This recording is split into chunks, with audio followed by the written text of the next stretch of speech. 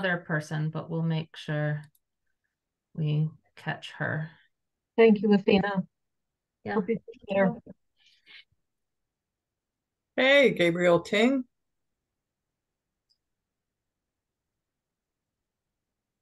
Welcome, Chief Ting. Yeah, hello. everyone.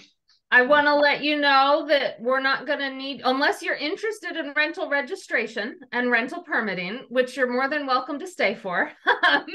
we're not going to get to nuisance house for at least an hour, if not more like an hour and a half. But, Okay. um, but so feel free to hang out if you want or rejoin us five, somewhere between 5:30 and six ish. Okay. Um, I'll come back. Makes sense. See you in a bit. Thank you. Thank you. Okay. So we are going to start. We're missing one com- committee member, but we're gonna get started. So, um, seeing a presence of a quorum, I am calling this regular meeting of the Community Resources Committee of the Town Council to order on October nineteenth, twenty twenty-three at four thirty PM pursuant to Chapter 20 of the Acts of 2021, extended by Chapters 22 and 107 of the Acts of 2022, and extended by Chapter 2 of the Acts of 2023. This meeting will be conducted via remote means. Members of the public who wish to access the meeting may do so via Zoom or telephone. No in-person attendance of members of the public will be permitted, but every effort will be made to ensure that the public can adequately access the proceedings in real time via technological means. This meeting is being video and audio recorded. Um, at this time, I'm going to take a, a roll call essentially to indicate who is present so that we can also ensure that people can be heard here and be heard. So I will start and note that Shalini Bahl-Milne is going to be, is not expected to join us today. So Pat, Present? Mandi is present, Pam, I'm here. and Jennifer. I'm here. We are also joined by man, town manager Bockelman and our building commissioner Rob Mora. So welcome to Paul. It's a, we, we don't normally have Paul here. So, and welcome to Rob too. Um, but we're used to having Rob. Uh, we're gonna get right into, oh, I, I think I didn't state the time. It's four thirty-two right now, in case I didn't state the time. Uh, we don't have any public hearings. We are going to start with our action items. We're going to take the action items in the order they are on the agenda. Um, the goal is to get through our permitting fee structure and, and everything we need to do with that um, within the hour by about 5.30, do a little bit of time on the town manager goals and then move to the nuisance house no later than 6 p.m. today, but slightly earlier if we get through things earlier. Um, we'll do general public comment probably after permitting, rental permitting. So we might take that one out of order. Um, uh, we do not have minutes today, so we are going to postpone the minutes to the next meeting. It looked like Pam, you had a question before I actually Well, start. yeah, Carrie, you, you were rattling off what was, what was something in different order, and I missed what you said about it being in a different order. Oh, I think we'll probably take general public comment between the rental permit discussion and the town manager goal discussion for CRC, if CRC wants to do that, um, is when I'll probably do public comment. Um, so someone remind me if I forget that, because I sometimes do when I say that. Um, with that, we're gonna go right to then, um, the rental permit discussion. Um, and so last week we got, or last meeting, we discussed the finance committee's memo to us and got through most of the documents, the the bylaw, the regulations, and we did not get through the comments as it related to the permit, um, the inspect, the structure, the fee structure, um, or the fees themselves. And we just didn't have time. We talked a little bit about the structure. Um, it might, uh, I had put fees into the structure just so we could see what they were. As I said last time, they were based on some of the options in the Excel spreadsheet, but they were never discussed here. So they're not like proposals necessarily. I just I just wanted people to see what it would look like in a document if we finally did that. We as a committee need to decide whether we're going to send actual fees over or portions of fees over as proposals. um, to the finance committee to consider, um, or whether we're just going to send back a structure that responds to their comments.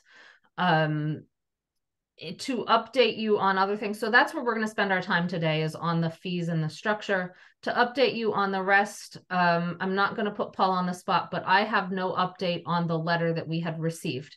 Um, and so we're gonna, my plan is to continue with our work until we receive that update and continue with what we were doing. Um, and wait until we receive an update on when and how and where that letter can be discussed appropriately as a council or as a committee. Um, Pam, you were That was, raising, that was essentially my question, and, um, I, I had, going through the letter from, um, uh, from the attorney, uh, I had some feedback on a number of the, of the positions that were taken, um, by the group and wanted to kind of get a sense of where best appropriate, Paul, I'm looking at you, um, to actually discuss our thoughts about what was presented to us.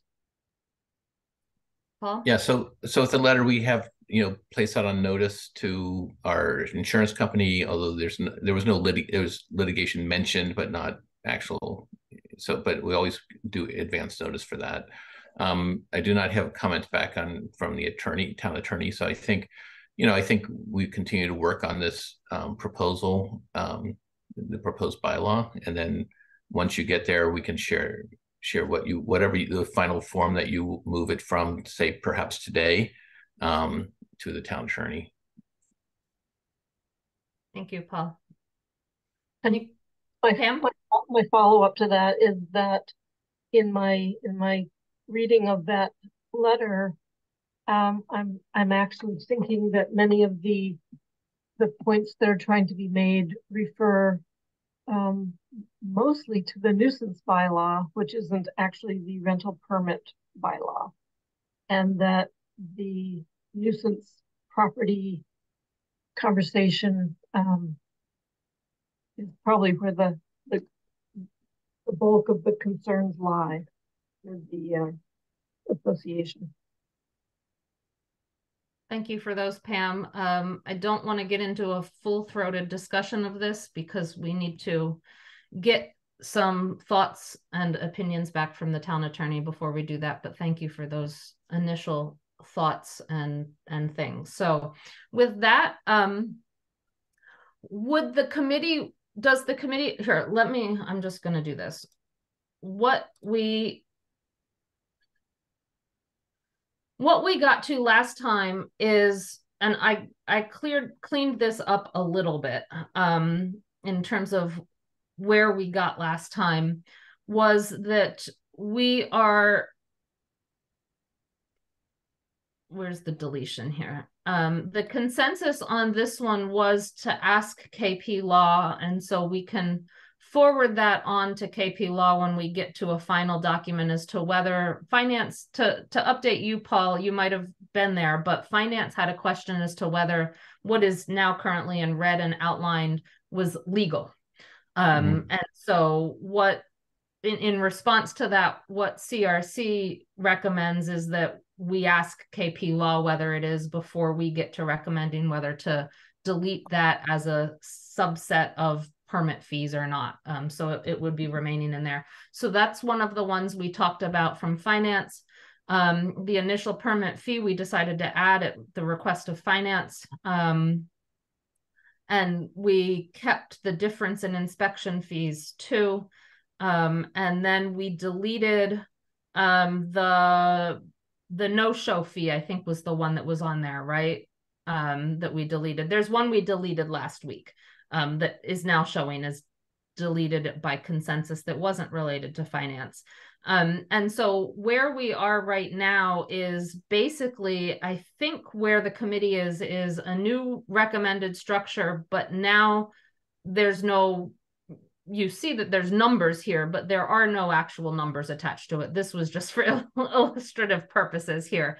Um, and all. So I can open up the Excel spreadsheet and we can look at some options and see if we can get to something where we could send numbers over to finance and say, hey, these are what, we recommend if finance wants to recommends fully funding the program through fees or if finance recommends using some other revenue for funding portions of the program, right? That's sort of where we got stuck the last time.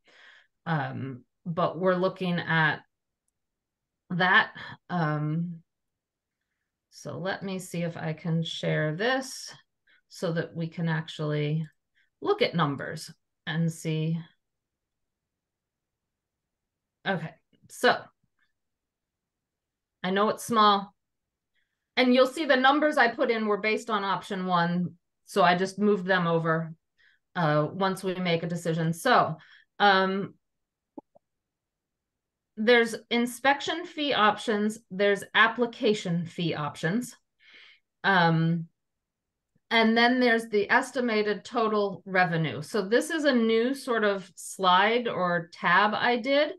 Um, Rob, as we know, Rob Mora has estimated approximately five hundred thousand dollars a year, five hundred and fifty, I think, um, in terms of cost of the proposed program, the proposed bylaw.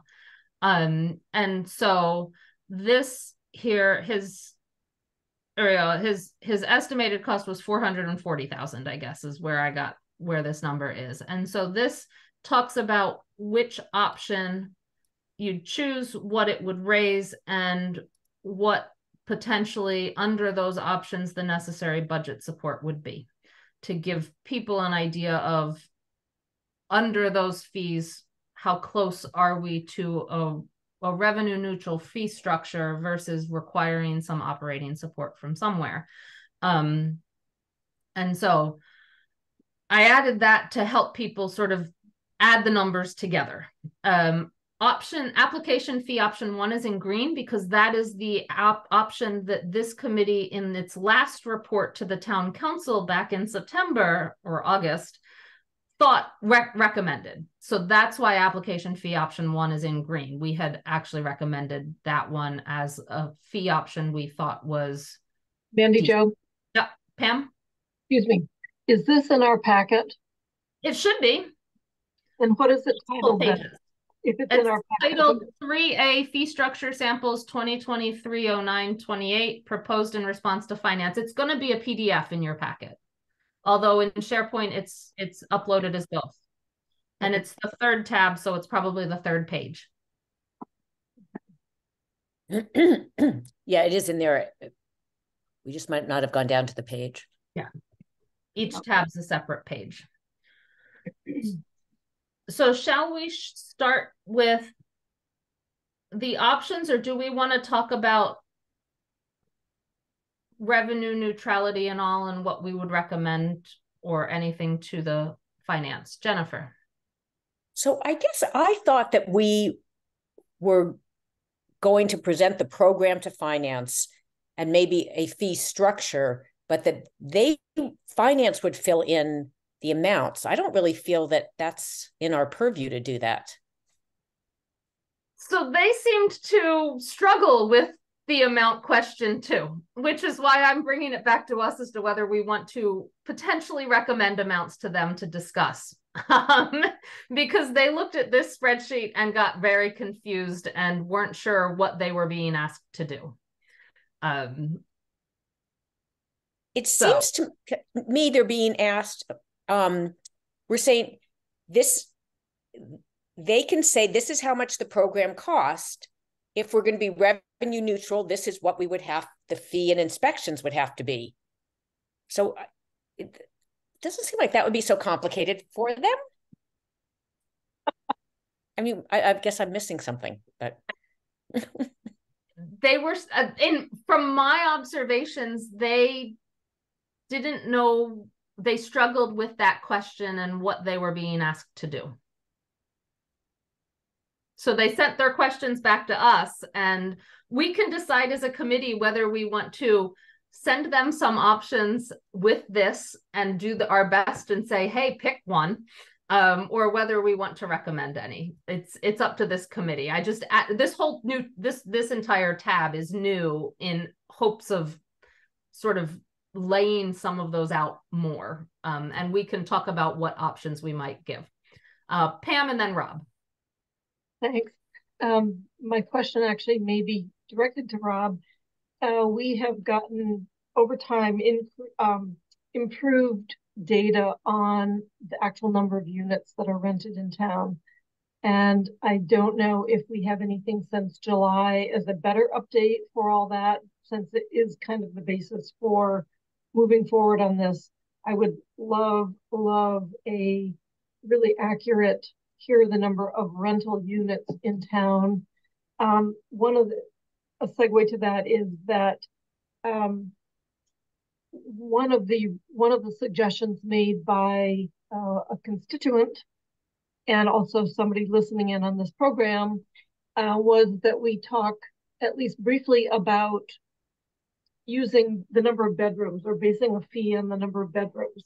The question to Rob is, aside from getting accurate numbers of units that are rentals, is there any possibility of in, of getting the number of bedrooms as part of that. Rob? so the first question, uh, the most accurate data is what you already have, the July of 23. Uh, that's the 1,258 units that we're using for these examples. So that's going to be the most accurate count. Um, because we haven't done inspections of these properties, the bedroom count that we have is all based on the applicants, you know, information that they're putting into the application process.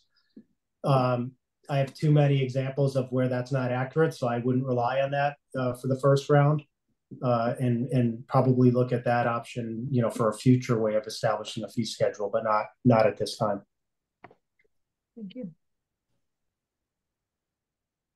The the other thing I wanted to mention about this tab was one of the things finance had asked us is how to maintain a fee that for owner occupied rentals is no more expensive over the five years than the current fees they pay.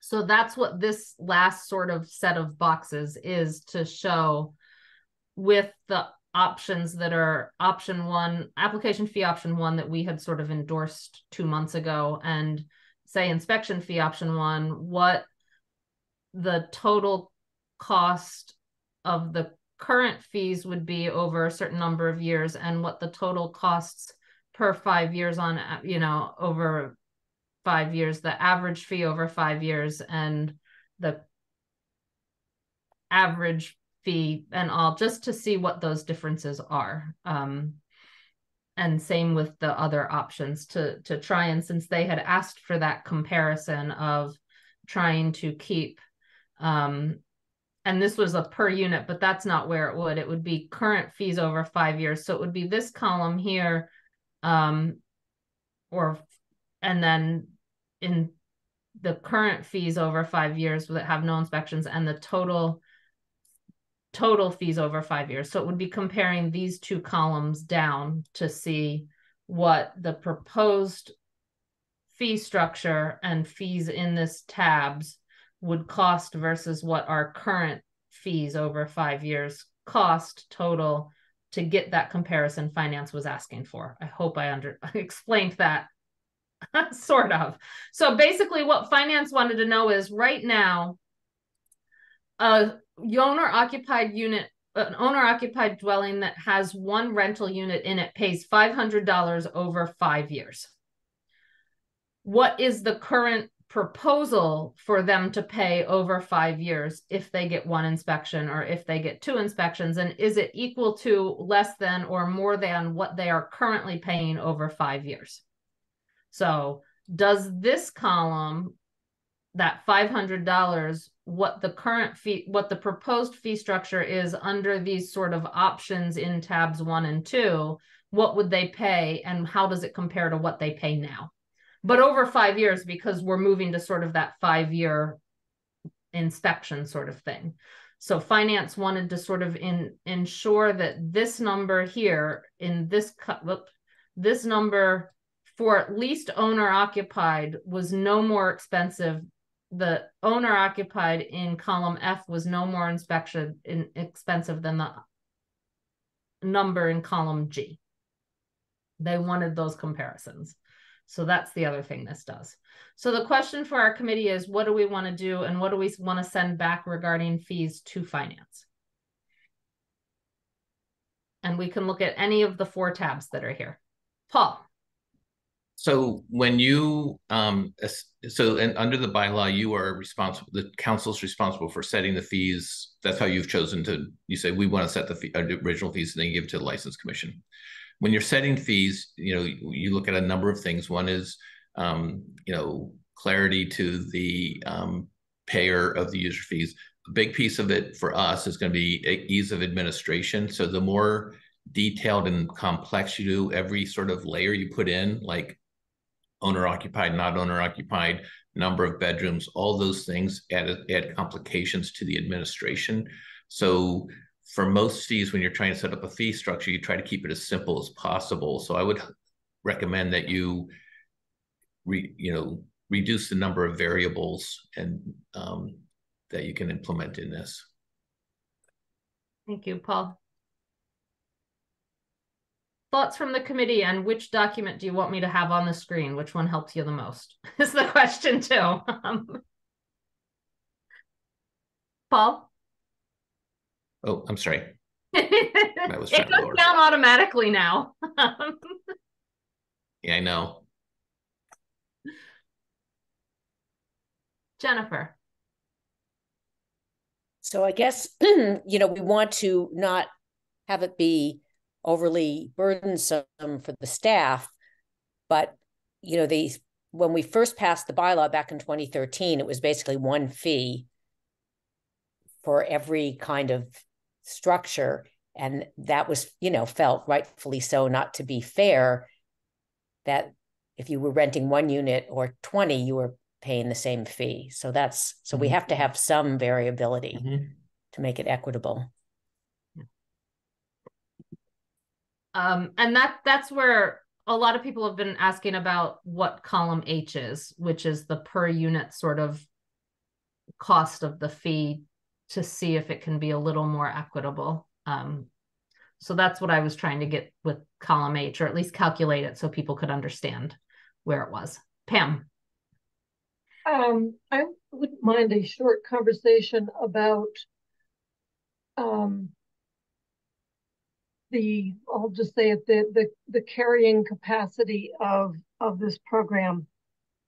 right now, maybe somebody can remind me, but I think I remember that we have we have a building commissioner in the department. We had we had a senior, but we now have again a senior inspector.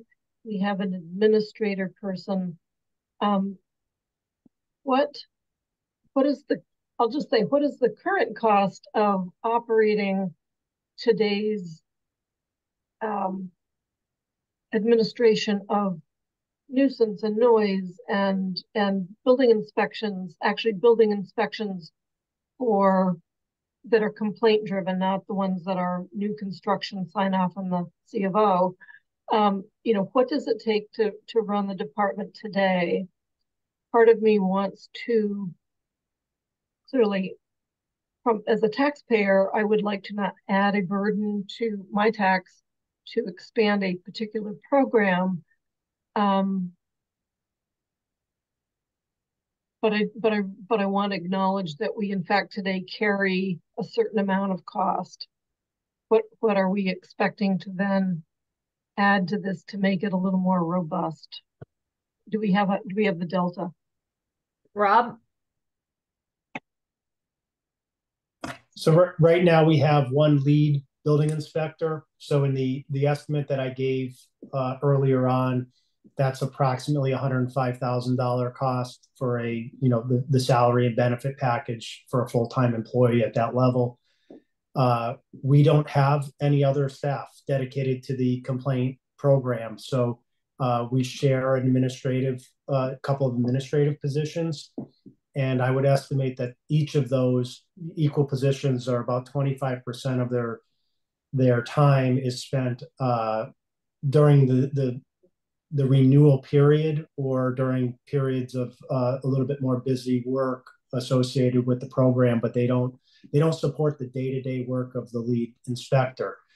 Uh, so that was that position had a ninety thousand dollar figure in my estimate. So I would I would suggest half of that. So if you're looking for just a ballpark number, uh, it's one hundred fifty thousand dollars would be the current cost of the program. Okay.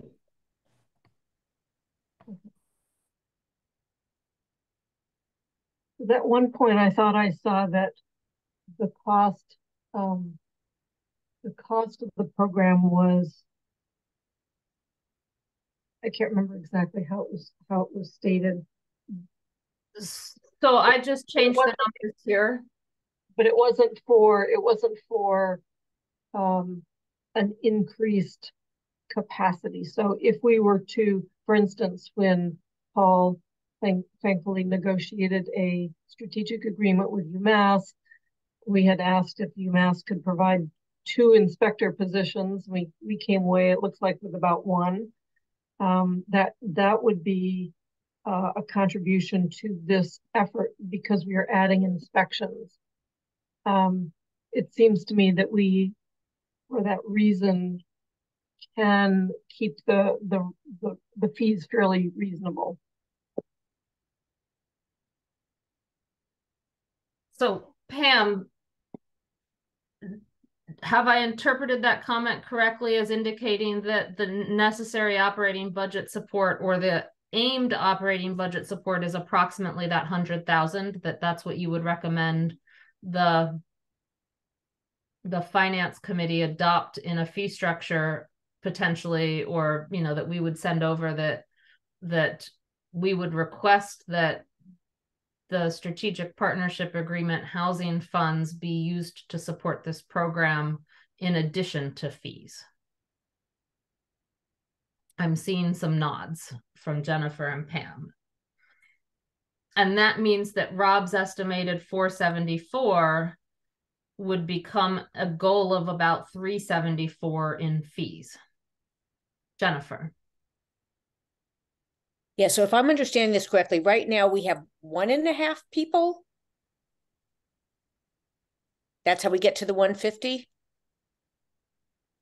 Thousand? Yes, yes. Okay, and we're, we're saying that we need two or two and a half? I mean, two additional or two altogether? The four seventy-five includes three additional, two inspectors and, additional. and one, fo- or two, I'm sorry, two and a half additional, I suppose, from the, the one and a half that we were talking about. Right, and that's what we need to implement the program we're recommending. That's right. Okay. So I think if, I would agree that if we need that hundred thousand that's part of the strategic partnership agreement or some part of it, this would be an appropriate. I mean, this is how we, if, if it's for sel- safe and healthy neighborhoods, this gets us, this is a key part of it. Pat and then Paul. Yeah, I'm just, I wanted to ask, but what's the likelihood of us getting this hundred thousand dollars from UMass in the strategic partnership that's definitely tied to this program? Or is that just another? pipe No, we have it. We have it for this program. Well, we have a hundred thousand for safe and healthy. Yeah, Yeah, we have a hundred thousand, but uh, Mhm. is it earmarked specifically for inspections? Paul.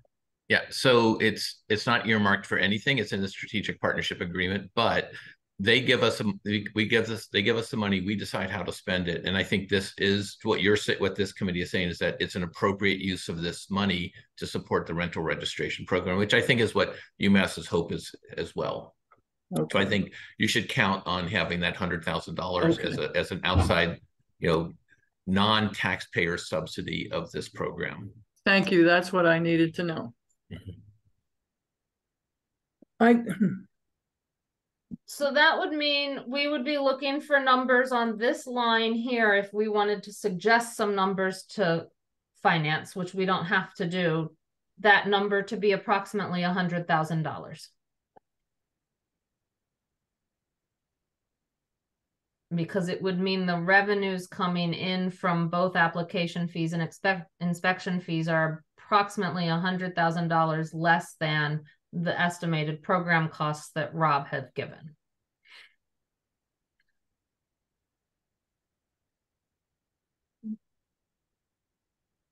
Do we want to potentially suggest some or change some of these application fee and inspection fee options to hand over to finance to give them as many choices as possible since they seem to struggle with that? Or do we want to just say, play with your own spreadsheet? Um, Rob. Um, you can tell me if you're not interested in this, but I had I had given an uh, you know an example possible um, fee schedule to the finance committee back in one of their first meetings, and my thought was to to just take start from our current fee schedule. You know, so we're collecting two hundred and ninety thousand dollars in permit fees right now, and everybody is has been paying the two hundred and fifty dollars other than the re- reduced cost for the owner occupied properties. And I had then suggested a $50 increment based on the, the increased number of units per property, which didn't generate that much more permit fee, but caused a, you know, resulted in a higher fee for the larger properties. Um, you know, that came out to about, that raised the fees from about 290 to 330, I believe, somewhere around there. And that's you know something like that is a really simple way to establish a fee schedule. It's something our program can handle. And then you know from that point with you know paul's um, confirming that the hundred thousand dollars from the strategic partnership is available you know a hundred and fifty dollar per uh, inspection fee would would bridge that gap you know so i mean it seems like we could look at reasonable inspection fees and starting from our current fee schedule and even further reducing the owner occupied properties down to even $50 would still work uh, just fine for that. Uh, so I just, you know, I guess following Paul's comment is, you know, less complicated will be better for all of us, including the applicants.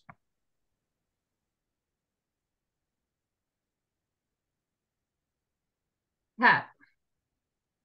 Uh, that sounds reasonable to me right now. Um, one question I have, uh, having gone through zoning where it trying to make zoning changes around owner occupancy, how uh, and there, how do we know that these properties are owner occupied? Or because that seemed to be the one of the concerns and the unintended consequences was you can sell a building and then it's no longer owner occupied how do how is that kept track of or is it at all important to, to keep track of rob yes it's important and it's it, and it's been difficult uh, to keep track of but where we are now and what we've done over the past year is probably the best position we've been in in regards to that. We did a, a, a, very detailed comparison and it really came down to mailing address versus you know property address that we're talking about. And what we do is we check the hundred and um, I think it was 140, but uh, you know that that hundred and something properties that have claimed to be owner occupied through the application process and we confirm that by making sure that the mailing addresses match up and um, there's no other reason to think that the owner doesn't occupy the property. To be honest, there's been a couple, you know, that, you know, somebody's moving around or uh, might have another home somewhere else and, you know, rents it out while they're away that we've had to work through, but it's a very, very small number. Uh, and I think we're able to keep that 150 or 140 uh, you know, really well monitored. We right. also then month to month watch the transfers. So we'll compare that list with the, the owner occupied list to make sure if any property changes ownership, we're then again confirming we follow up with a letter to the owner of the property to just confirm that it continues to be owner occupied. So I think we can manage that now. And, you know, again, this kind of goes back to having the additional staff will make it a whole lot easier. We have one person and and part of some administrative staff that helps to do that, but we've we're working on making sure that's more consistently monitored. Thank you. So Rob, um, I just want to confirm a couple things that you just said. Um, so, and I just put some of those numbers into option two, since option two was the one that's sort of the floating one. Option one we had as a committee looked at before. And you would say, and this says renewal, but am I understanding you correctly that you would recommend not a different fee for an initial permit as a renewal permit, like we were thinking of going to? You'd recommend just one fee um, no matter whether you're renewing or it's your initial one, and that it would be hundred dollars for owner occupied parcels with up to six units and 250 for all other parcels with and you said for each unit above one unit 50 extra dollars? Is that what your initial schedule was? And would you then have a maximum fee Yes. So I in in my example, I went up fifty dollars, and then at the ten or plus unit property, it maxed out at seven hundred dollars, and that was the max. okay Because I, you know, my thought there, it, it gets to a certain point where a, a registration fee does get a little excessive, even for the larger properties. But I understand that we want to we want to have we want to charge more to those properties. Uh, and I thought, you know, the difference between 250 and 700 did that okay and, so and thought no re- there was really no reason to reduce the fee for any you know for the properties other than you know the owner occupied properties. If you wanted to further reduce that i think that would be fine. Okay so i would have to fix column f here because that one obviously takes $10000 for whoever our 200 unit one is into that 527000 i can't do that now. I can do that later. But then for inspection we were exploring um let me go to the other one. Um no. Having inspection fees that were different for the first inspection so that initial inspection because you said that might take a little bit more time. A renewal fee so a different initial and renewal for the usual inspection but then also complaint fees and reinspection fees. And are you then recommending that we eliminate all of those differences and just have one inspection fee, no matter whether it's for the program itself or in response to a complaint or in response to a complaint where, say, a violation was written up and you're coming out a second time? You'd you'd you'd recommend charging the same thing for all four of those types of inspections? Is that what I heard? why not right? I mean everyone's having so much trouble with putting numbers into these schedules. I mean why why why make it that complicated? If if an inspection costs $150 let it cost $150 for whatever purpose where they're inspecting. Um, you know the the reality is we're probably not going to charge it other than for the scheduled inspection the five year inspection it'll probably be very, you know, uh, unique circumstances where we would be charging it for other reasons. But it'd be an inspection fee on our schedule. Thank you. Um, Pam. Yeah, just looking at the math, if if uh, we have um, someone earning 105,000 max with all the benefits, et cetera, that's about $50 an hour. So if if a person is um, going to do an a uh, an inspection, whether it's the first or second time, it's definitely going to take more than an hour. By the time they've been there, written it up, confirmed documentation, and done any follow up, I I personally don't feel that a hundred dollars is is certainly not too much to ask and that's kind of at the the base the base minimum for an inspection feels like it needs to be a hundred at least a hundred dollars now, maybe there are some, maybe there are some economies of scale if you're in a building that has, say, eight units and they all share a heating system. So you don't have to look at, you know, individual heating and individual individual ventilation systems, et cetera. Um, again, taking Paul's advice, trying to keep it simplistic rather than complicated, um, I would, I would definitely be able to support at least a hundred for a basic inspection fee. And, and if people feel that's low, then, you know, chime in.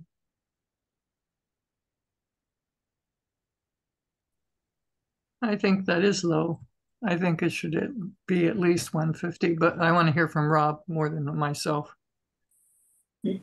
Yeah, I had suggested hundred and fifty. I thought that was reasonable, um, for all the reasons Pam you just mentioned, that there's, you know, we gotta figure there's gonna be some follow-up, some phone calls. It's not, not all of them are gonna be resolved with just the hour-long inspection. Uh, so there'll definitely be an average that has to get worked out there. And, and just to, um, another comment that you made about the, you know, the mechanical spaces and things like that, if it's an apartment building, no matter what, the inspection is of the dwelling unit whether or not it has its own mechanical systems or it's shared.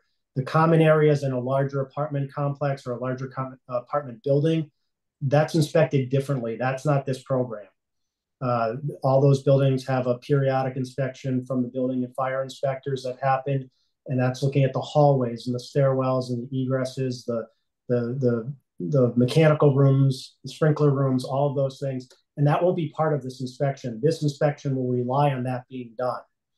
Uh, so this is truly looking at the dwelling unit. And some buildings have their own systems, and some of them have the shared systems.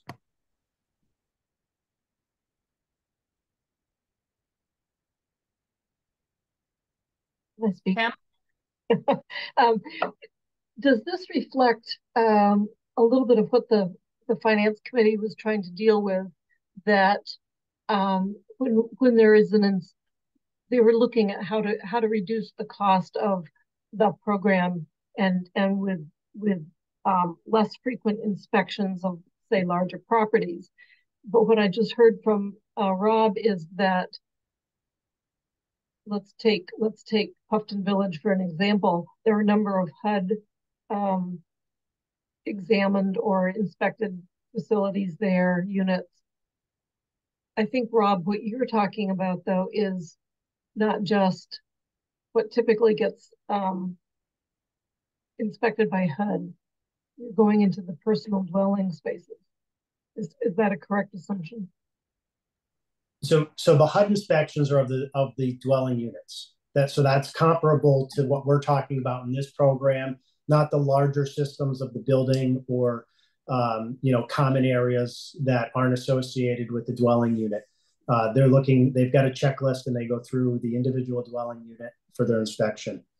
Um, Rob, uh, Paul. So I really like the direction you're going. I think simplifying it, aligning it with how we've done it in the past, it'll be simpler for the um, property owners to understand. I think actually the discussion at the finance committee revealed sort of confusion about how you know the complexity of it and introducing some new features that they weren't really grasping right away. The other thing I would say is that you know these are fees that will be reviewed by the board of license commissioners, so we don't have to. It's, it's I think this we should be looking at this as let's see how this works. Let's see how it plays out on the ground.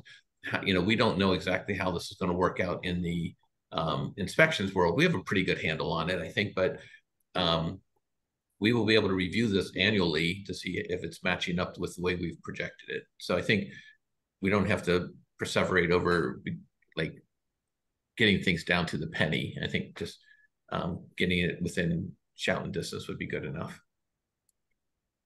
Thank you, Paul. So what I did while people were discussing was fix the application fee option two for the guardrail of $700 max as best I could very quickly. So this J and K column now represents what Rob was just talking about from what I can guess. So it's option two down here, which is where I've been moving stuff. So 100 and 250 and 50 with, you'll see that this total number of rental units changed.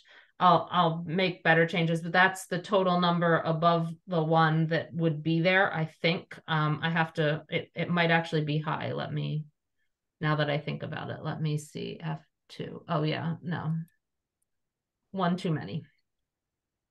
Um, so now now it's better. Um, so it'll make more sense now. I think Rob was like, that's a little high from what I calculated. Had one too many cells in there. So um that would be that. And then what I did here just for quick able to do it was I changed all of these to 150. Um, this might not, given how it was set, be totally accurate at this point, but then right here in J and K um, is where those numbers add up to approximately 451, which would then have uh, operating budget support or, or as we discussed, use of SPA funds at approximately 22,000 as an estimate. As Paul said, everything here is just a guesstimate at this point because we don't know. So thoughts of the committee on that as a potential option to send over, it would mean that on the other sheet I've been toggling between on the screen share, the schedule, we would change that schedule to just inspection fee. Um, and I can pull that up if if people want to see that one too. Yeah, let's look at that. Please. So that would mean we'd be looking at not possibly not even going to KP law on item two here.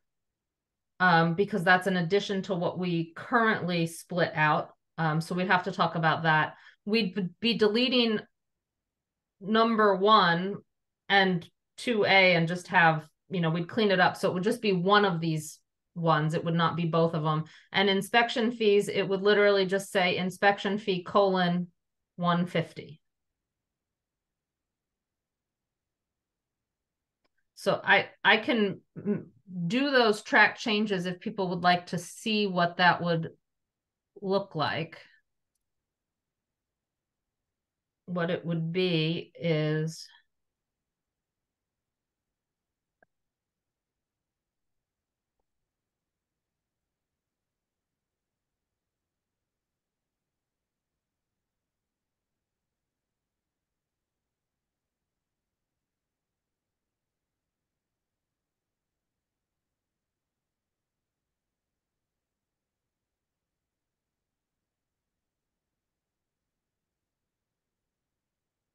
I thought it was one fifty, it's 100 right now actually. but not two fifty, but one fifty.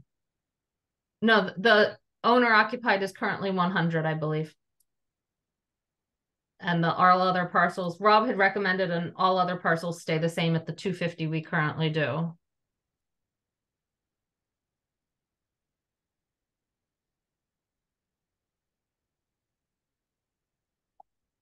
So that's that's what we would send over if if we went with Rob's plan. Now we could play with some Wait of a, these numbers. wait a second, I just want to uh, slow down half a second. Uh, A is based on option one, right? No, they're both based on option two now. Okay, Sorry. Still working on fixing everything. all right, I'm sorry. No, that's that's still working on fixing everything. And we could potentially change some of those numbers and see what that looks like in the spreadsheet if we wanted. Jennifer, Yeah, so I just wanted to clarify for myself. So the one hundred and fifty inspection fee is what you pay once every five years. well, that and any potential other inspection you have.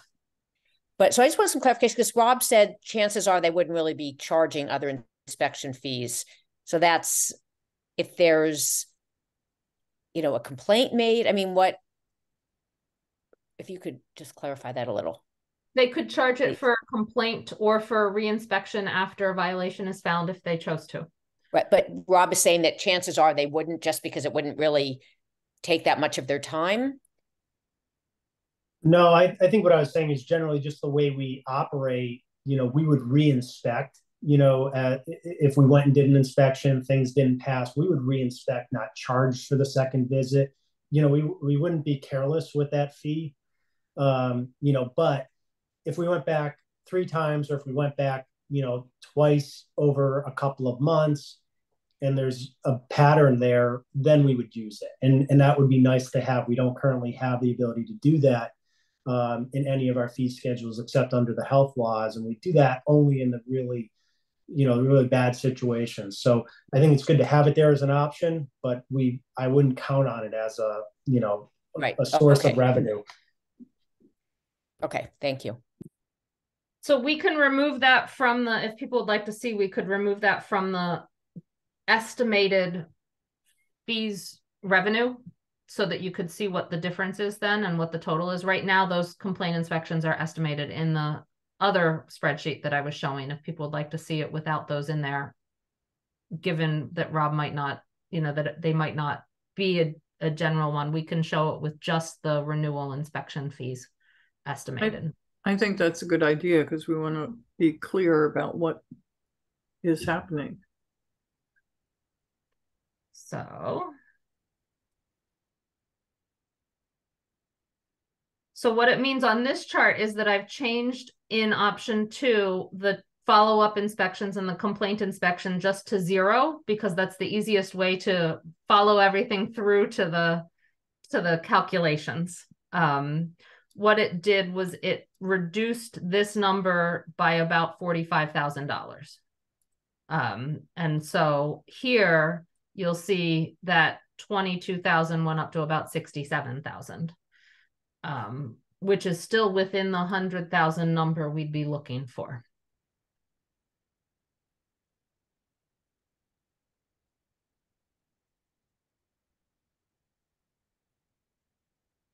What is the committee's thoughts on potentially sending this over? Potentially even cleaned up with just those options on there.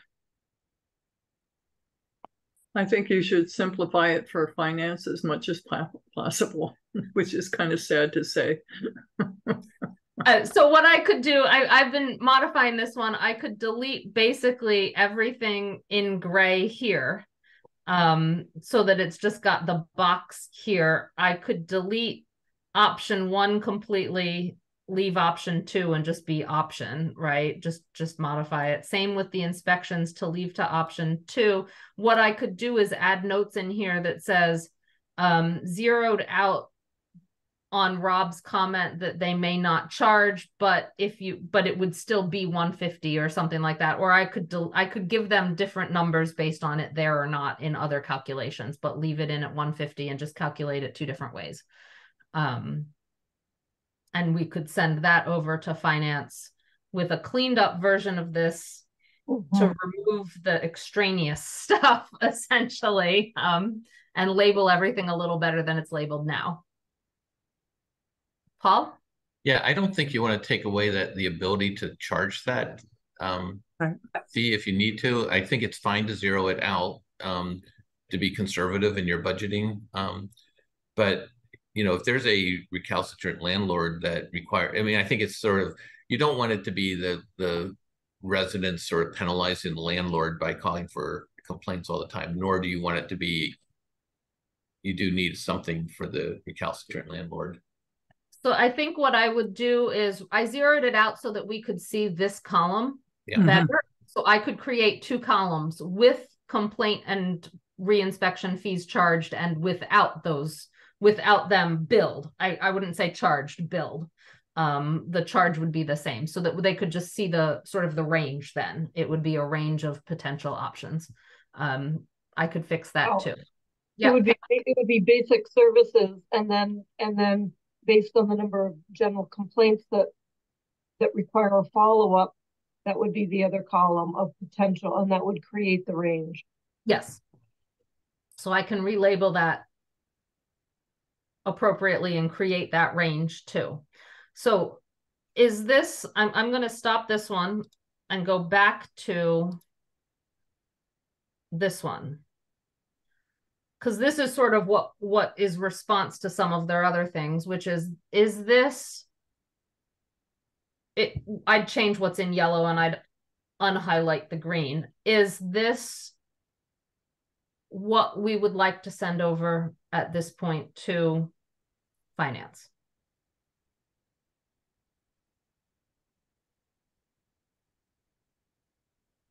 Paul?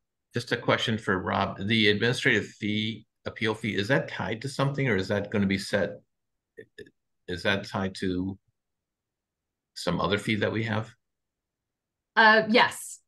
Let, let me show you what it is. Um, it is the same thing the ZBA charges for their appeals from a decision of the building commissioner. So it's not directly tied to it, but it's it it was chosen because it would agree with the fee the town charges for appeals of the decision of the building commissioner. So, and is your intent just to leave it as a set number, or do you want to tie it if they, if one changes, the other one change, just leave it as is? I, I think our plan was to leave it as is and let the building, uh, let the board of license commissioners set it themselves once they start handling the appeals. Makes sense. Good.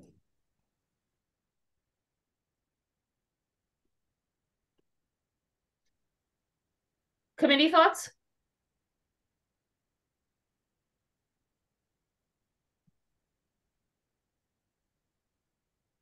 Let's clean it up and send it to finance. Do we want to formally vote on all three documents as sort of, I, I don't even know what the vote would be. Well, we did change them, so we could vote to recommend um, the council adopt the three current. Let me change the title of this one. Um,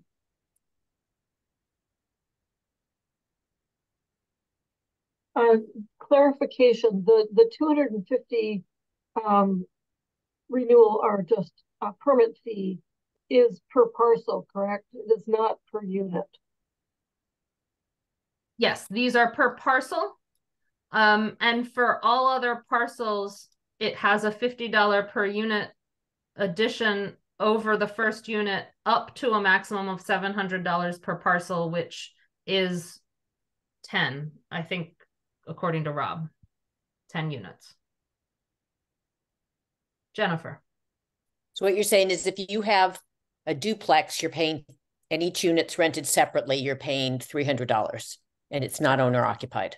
that was Rob's recommendation, yes.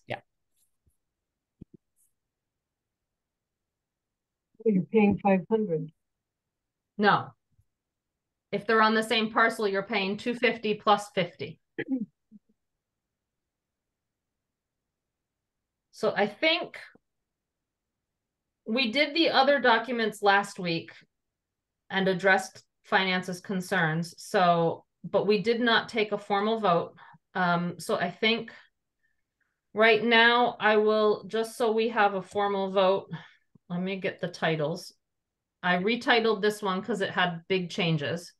Um, so it's a motion to recommend the council adopt um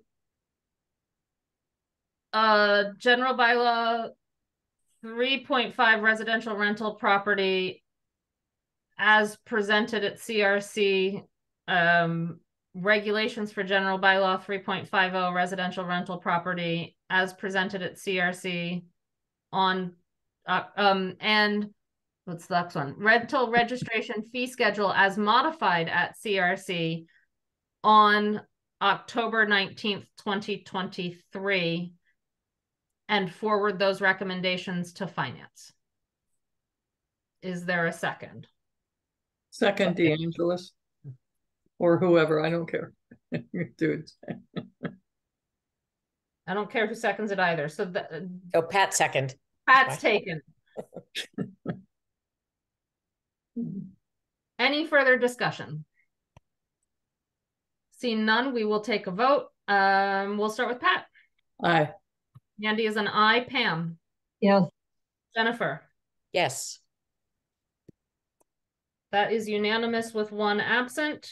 Um, I will write that at least the forward report to finance tonight since their meeting is tomorrow. Um, and Paul, I will make sure you are included on that with all of these new documents um, tonight so that you can do, you indicated at the early in the meeting that um you will forward on to the attorney the Correct. documents. Correct. tonight. So Yeah, I will thank you. sure Have them tonight. Mhm, mhm. Um, Pam, where will we be able to see the corrected documents? Do we have to wait until two weeks from now and, and get it in the packet? I will. Let me do this. I will send to the finance chair and Paul with a CC to this committee. Thank you. And you might want to CC Athena to get it into the, the finance committee packet as well.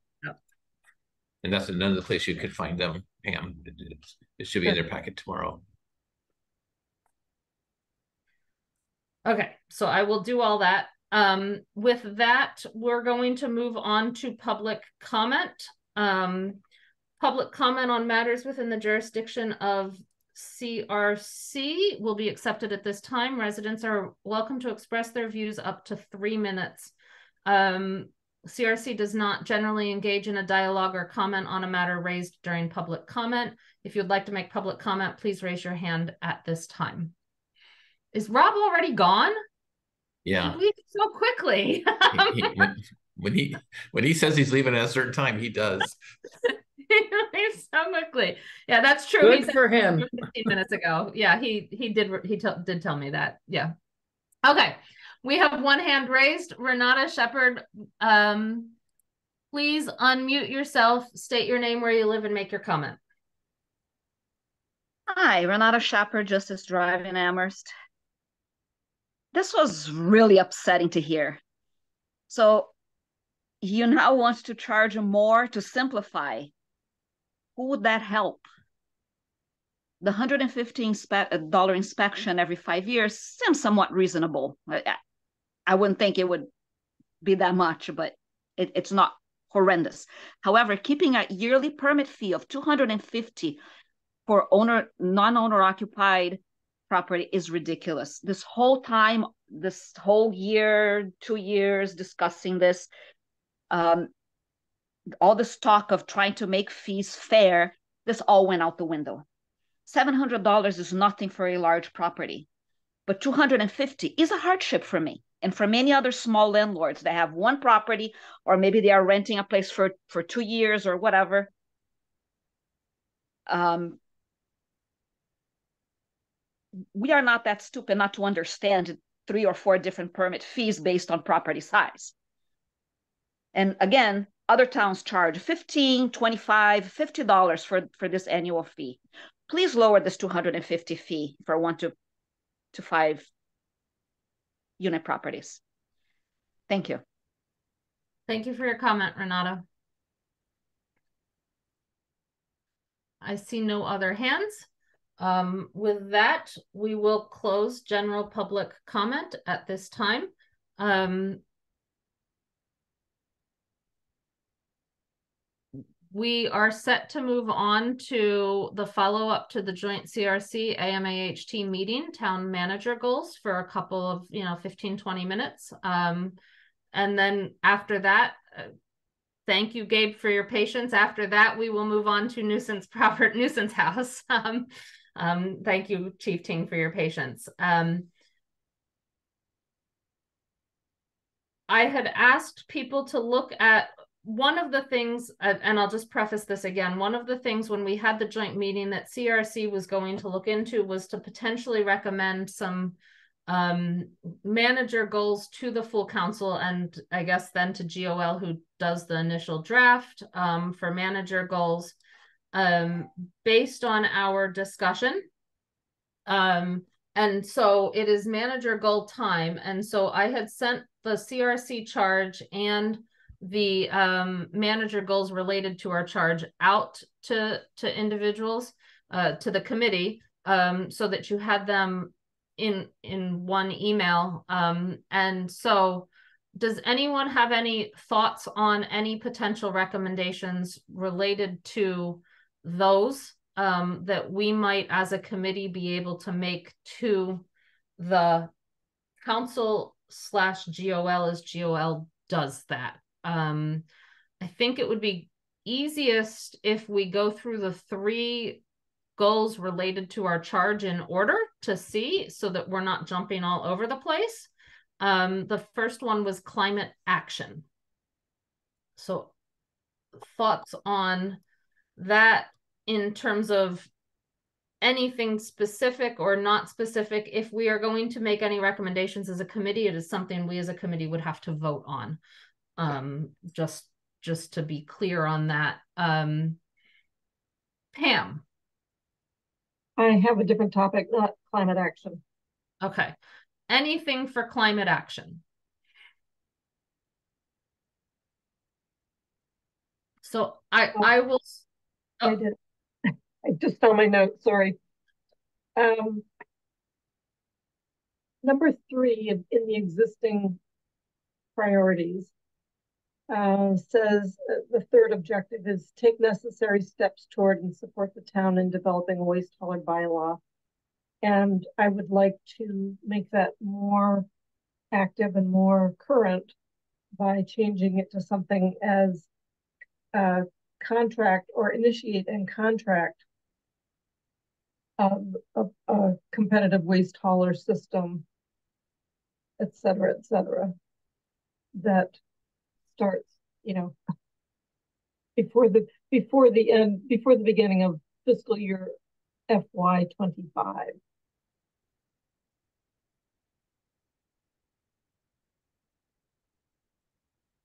uh Jennifer. So I'm sorry, I'm- th- th- I should have asked this at the beginning. This is not in the packet, is it? So neither document I put specifically in the packet because I only pulled excerpts out of two different documents. Um, one is the GOL, not the GOL, the CRC charge, which is on our website um, as what we are charged to deal with. And the other one is the manager goals, which are on the manager's website. Okay, Sir. And I had just pulled excerpts of them and emailed them to the committee. really? Let me see. Okay. Yeah. I, I want to get the, I don't have. When them. did you email them? I didn't Yeah. see them either. Last- I'm sorry. last week as part of my reminder about this meeting and that the packet was posted. If we're not ready to talk about it, that's okay. We can move on to the next item on the agenda. I apologize. I am not ready, but I can't speak for anybody else. I do have, I do have a few notes. If, I'm happy to share them now and we can come back and talk about them again. Yeah, why don't I, you? I, I just yours? pulled up the email. Okay. Why don't, What, Pam, when's why- it dated, Jennifer? It's dated, um, Friday, the thirteenth, last Friday. I- I don't know when GOL is taking this up. Pam, share your thoughts. I will share mine. I received some sh- thoughts from Shalini. If we share them very quickly, we can then move on, but then I can create a document with the thoughts. That was it for, that was it for climate, Okay. Um, economic vi- vitality. yep. Okay, thinking about economic vitality, um, I would like to add something to the effect of uh, reviewing all policies with an eye to improving uh, conditions that support um, an increased year-round population in town. We've heard lots about, you know, we, we need more family-friendly stuff. We need, you know, more people would want to live here. Um, so I just think reviewing all policies with an eye to improving conditions that support an increased year-round population. Okay. Anything else on that one or housing affordability? Housing affordability, yes. Um, I would like to add to housing affordability, uh, um, an objective of maintaining up-to-date data Yep.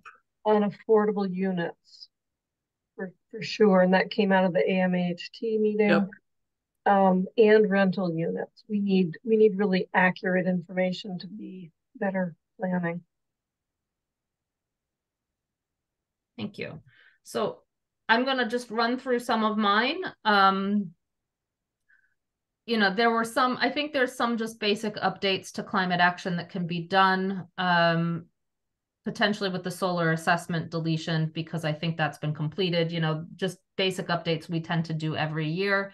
Um, and, and so that was sort of my thing with the climate action one was sort of do the basic updates. Um, but ECAC had recommended adding a reestablish the e-bike network. And so I think that might be a good one to potentially add in. Um, along with the typical updates that need done to reflect what has been done over the past year and what hasn't been.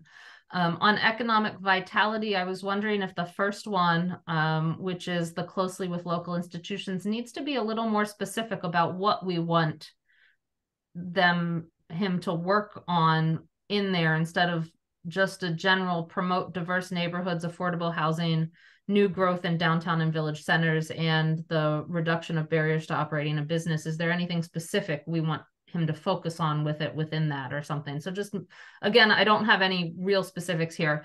Um, and number three in economic vitality, together with the council, facilitate the review and revision to increase and support economic development. I think we need to get more specific of what we want reviewed or Yeah. what we want done with that review instead of facilitate it. What should we be focusing on? What should he be focusing on with that review? Um, again, I don't have a proposal for what, but I think it would be helpful to potentially the council if we came in with a a specific request under number three to add in instead of just facilitate the review. And with housing affordability, um, similar to what I just said with economic vitality in numbers three and four, um, increase the diversity of housing stock available to all residents and explore strategies to stabilize the year-round population in town.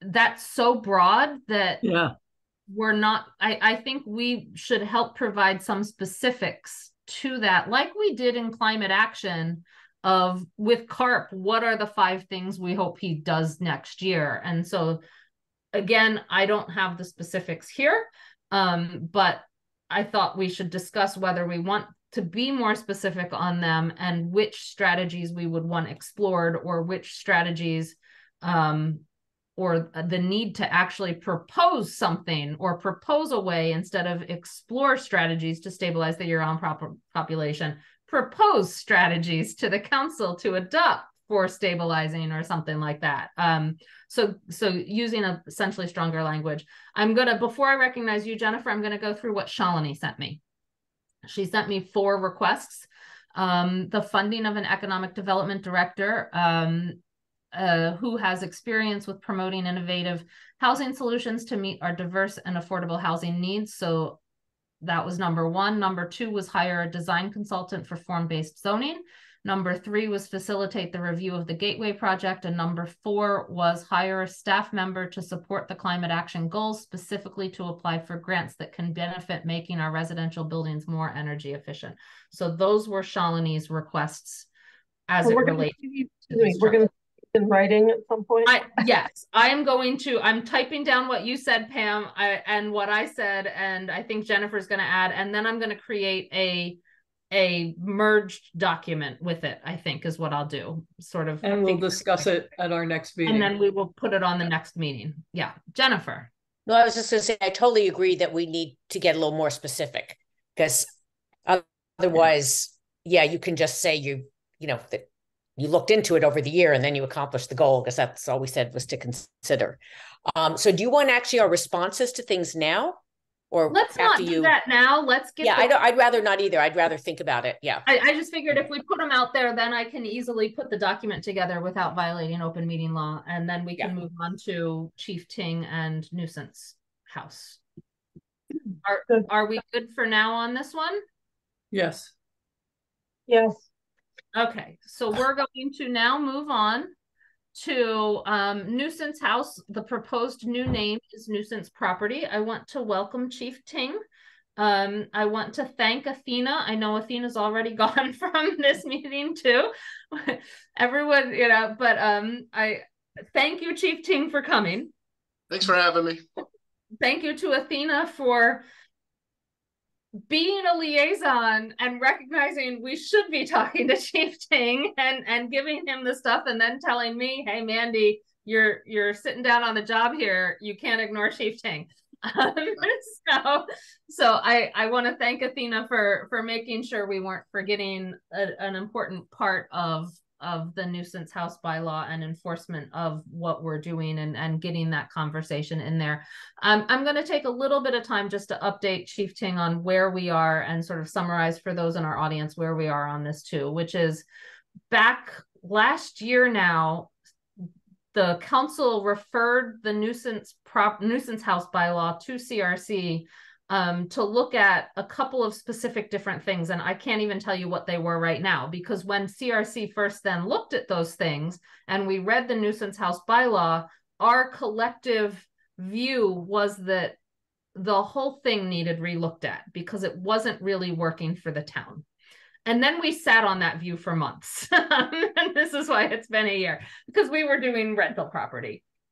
And so we are back to trying to figure out a way to rewrite the nuisance house for the the bylaw, hence the new name nuisance property, mm. um, in a way that would better function and address the nuisances that we as counselors in particular have been hearing about are are present in neighborhoods and and are are are having they're having some struggles to address um, so we have been floating back and forth different options um, on what to do, different conversations of what is a nuisance and what constitutes a nuisance property, um, and and different conversations on how we would want to regulate that and also enforce any potential violation. Um, so what you've seen is our latest version, which hasn't been discussed in a while.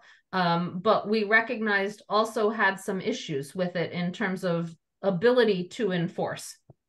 I think was our biggest we've we've been struggling with that. And so I also sent you and what is also in the packet for our committee's conversation is Boston's nuisance property bylaw. Um, and I will say when I read it, I thought it might address some of the concerns and issues we as a committee have been having in trying to draft something that accomplished from just a, a flat out read point of view what we were trying to. So I would like to look at that, but but we can look at that after we definitely hear from Chief Ting on his thoughts and and everything, and we can ask Chief Ting as much as we want right now um, about it all, and and hear from Chief Ting about uh, the police department's work with the nuisance property nuisance house bylaw. I'll go to Pam first. I just wanted to help frame frame it a little bit. The intent here was that we talk about we talk about sort of nuisance in tiers. So it's uh, kind of tiers of violation, and and at what point do various entities get um, notified of what's going on? and so you might have a couple of violations, some issues occurring and things can get resolved. Those that continue to have violations, there isn't there is a requirement then to reach out to the property owner and manager to at least notify and ask for um, amendment to the to the the the bad act the bad activity or you know addressing addressing the issue and then finally, there would be the potential of with further um, violation within the same time frame that there would be potential for denying a permit. And one of the things that we heard across the board is there there is no enforcement there there is no way to to um, disallow somebody who's doing a really bad job of managing a property to feel any pain and to make any change in the way they manage a property. So this is this is an effort to sort of categorize what's happening. Thank you. Jennifer? Yeah, and I guess it's kind of echoing what Pam said, but there's a frustration among residents who live, you know, near uh, problem properties, nuisance properties that nothing changes year after year after year. And, you know, I know because I hear from a lot of uh, residents and I'll say, well, this is, you know, you do X, Y, and Z. And they just look at me, they go, yeah, we've been doing that for years. Nothing happens. So it's, eh, um, yeah. So we, so I feel I would just like to be able to ensure residents that our bylaws are enforced and we the And, you know, whether it's because it's new tenants every year, so then you're, they're starting all over. But there are certain properties, no matter who the tenants are, they seem to be problems year after year after year. And the tenants have basically given lost hope that the town will ever do anything.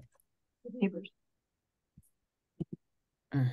If I could just respond, I'm sorry. Yes. I No, I was, I was actually just gonna ask you, Chief Ting, your thoughts on the nuisance house and on just enforcement of that and noise and all these other bylaws that we might be writing. Um, and, and any ways you would think we could improve some of them. Well, to be honest with you, I could probably talk about this subject all night long. You know, it's it's quite extensive.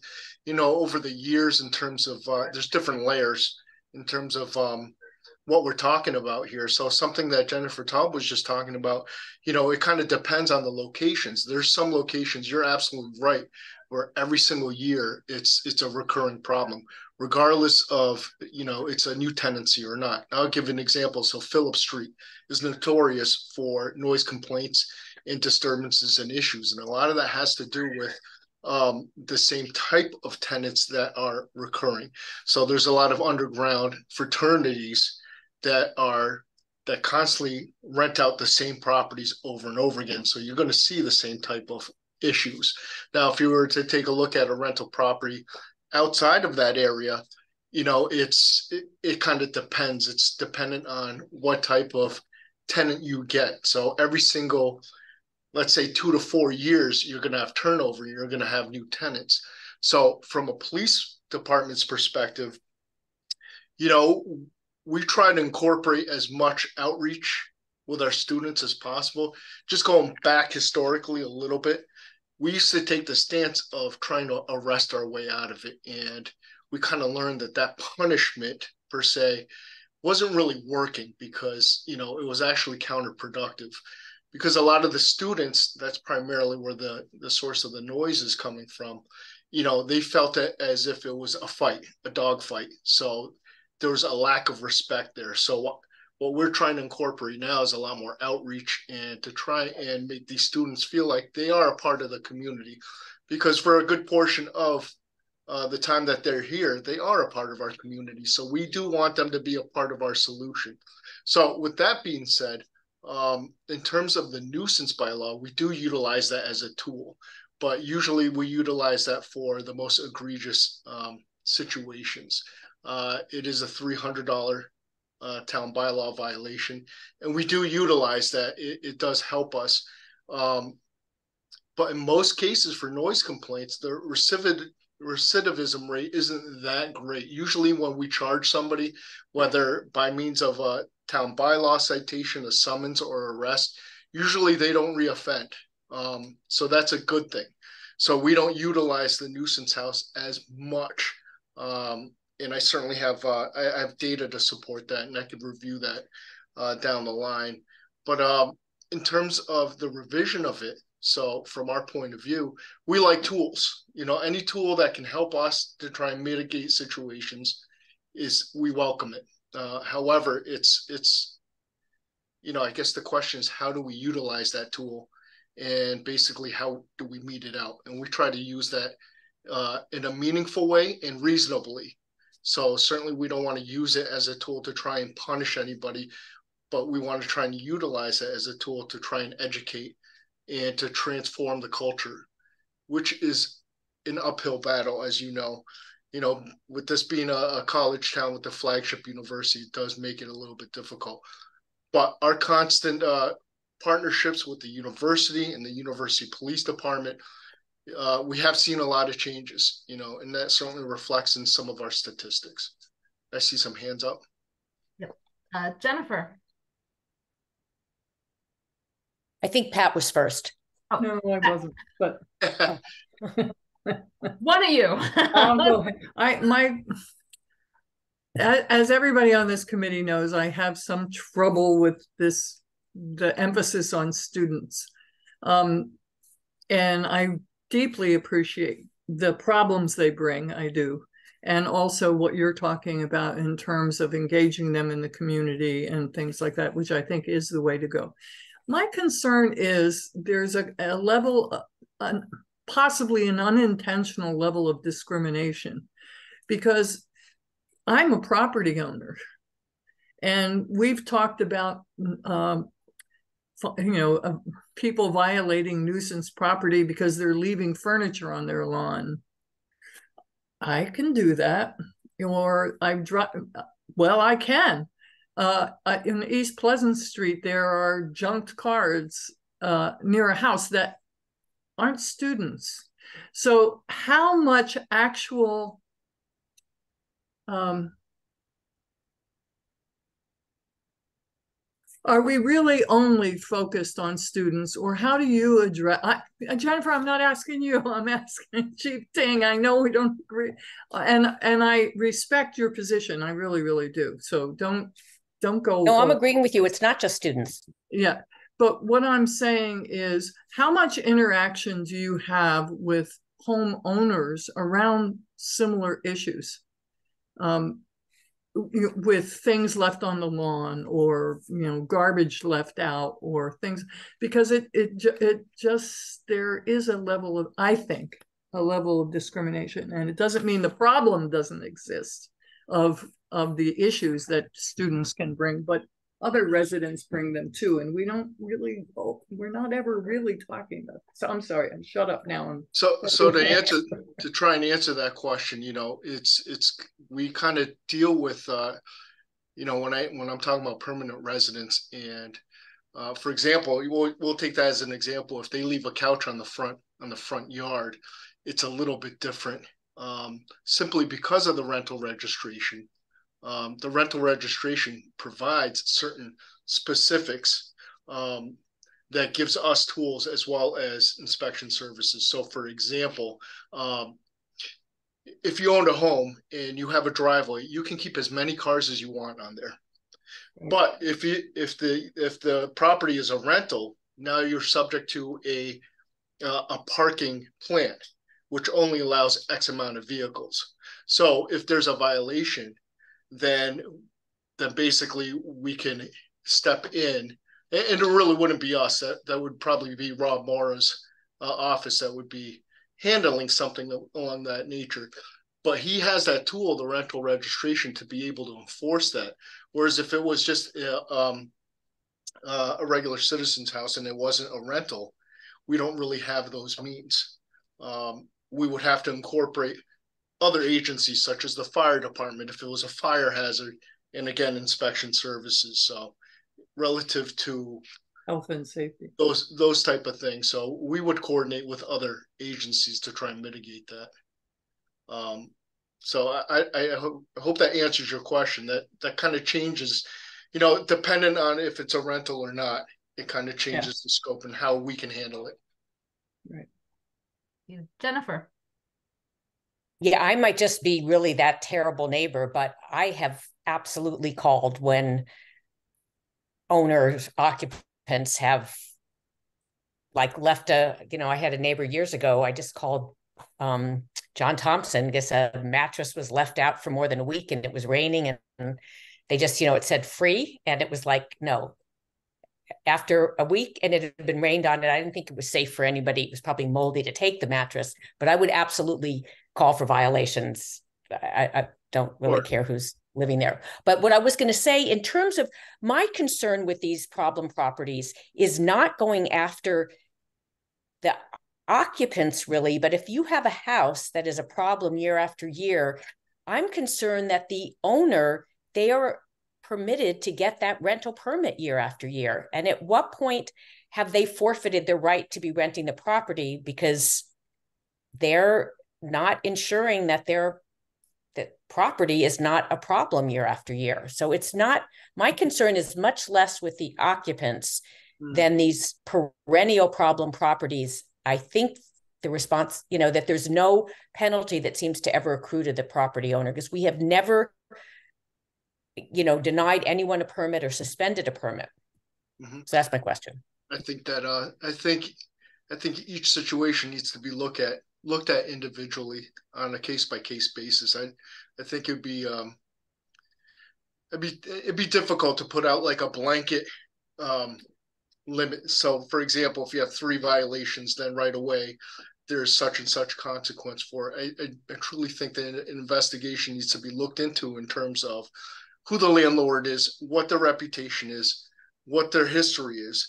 The reason why I say that is because, you know, a lot of times, like I said, you know, with with certain properties, there's a high turnover for new residents and new residents with especially with college kids need to be re-educated every single time. You know, it's their first time away from home and they're going to take that gamble because they don't know what the risks are and throw a party and they have no regard in many times for their neighbors until they are well educated for that and whether that's outreach or whether that's some kind of enforcement usually they change their behavior after that. And it makes it difficult to hold a landlord in many instances uh, accountable because the landlord only has so much authority over those tenants. You know those tenants are adults. You know landlords can't even walk onto the property or go into their homes without prior notice. So it makes it kind of difficult.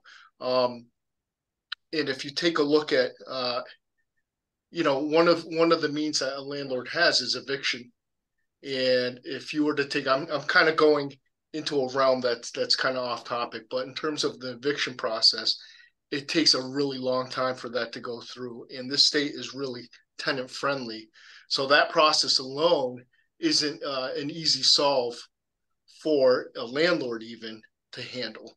And a lot of landlords, I'm sure, don't even want to go through that process because they're going to lose money in the end. So that's a whole nother conversation.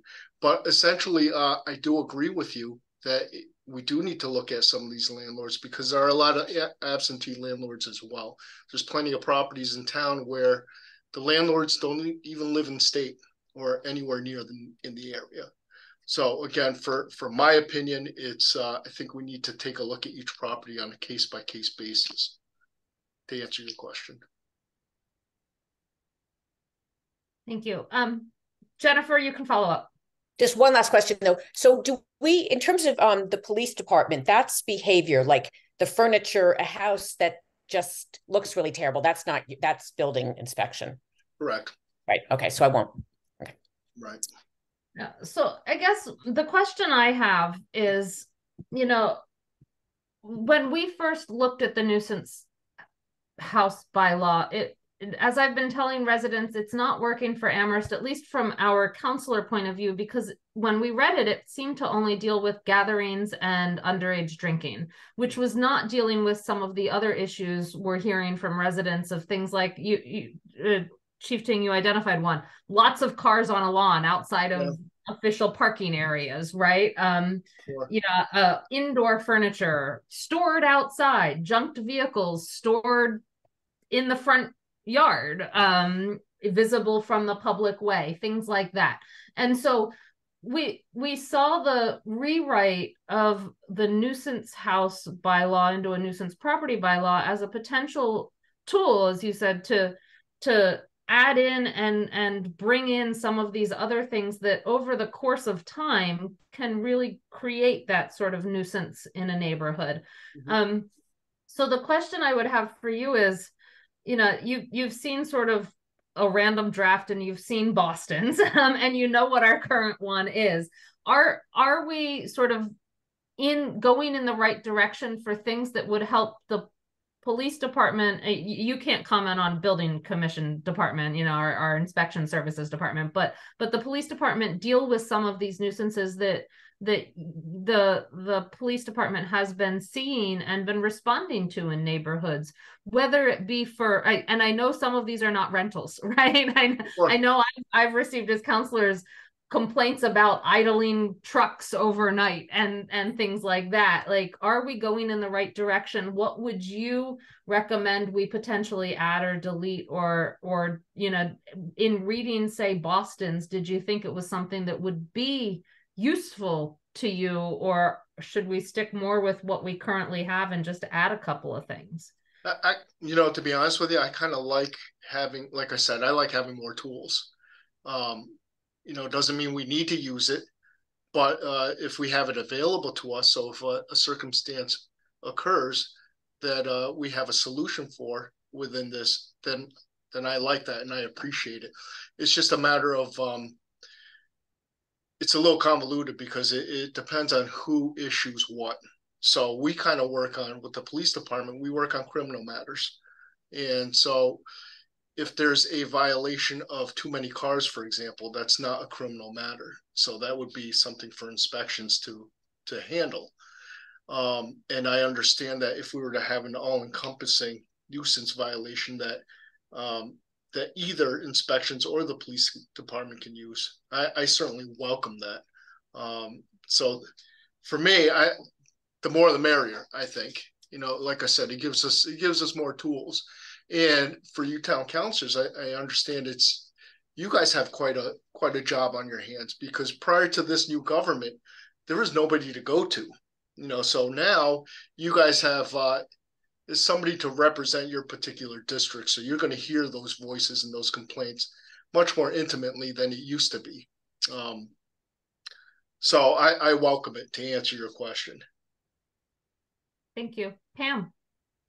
Thanks. Um, yeah, I just wanted to to verify what I think I heard, and that was that in a case like this, if we have a, a more comprehensive nuisance bylaw, that that we we are going to be able to track um I'll just say charges by either police department and or inspections that there's a way to to see the records of both departments. It's not like there are two little silos that never speak to each other and we would never really truly know you know how many total violations there were. So I'm just confirming that that it's possible. So we track all of our nuisance house violations that we issue.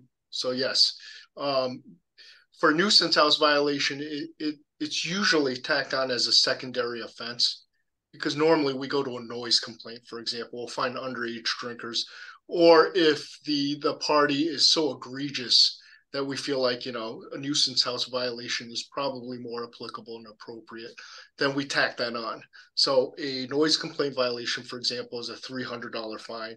Nuisance house is $300 so when we're issuing a $600 fine we're hoping that that's going to solve the problem for especially a college student who probably doesn't have uh, an extra $600 to spare um, so we we uh, when we utilize our nuisance uh, violations.